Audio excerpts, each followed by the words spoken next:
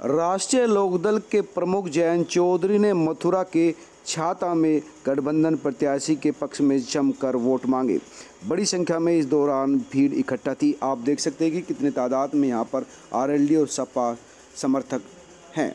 और जयंत चौधरी ने कहा कि जनता बदलाव चाहती है क्योंकि जनता बीजेपी के कुशासन से काफ़ी परेशान है। उन्होंने कहा कि सबको मिलकर गठबंधन के पक्ष में वोटिंग करनी चाहिए। संत समाज की की जो इच्छा होगी, जो विचार होंगे। अगर उसी के अनुरूप जनप्रतिनिधि काम करें, जिन सरकारों को आप चुनते हो। अगर गंभीरता से वो अपनी बातें ले लें, जो चुनाव के वक्त वो वादे करते हैं। तब तो देश आगे जाएगा।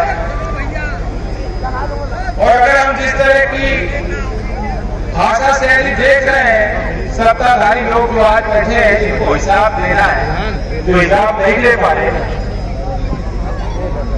हिजाब उनकी सरकारों में लगाना, खुद कोई ज़िम्मेदारी ना लेना, उन जेलों की बातों में देश को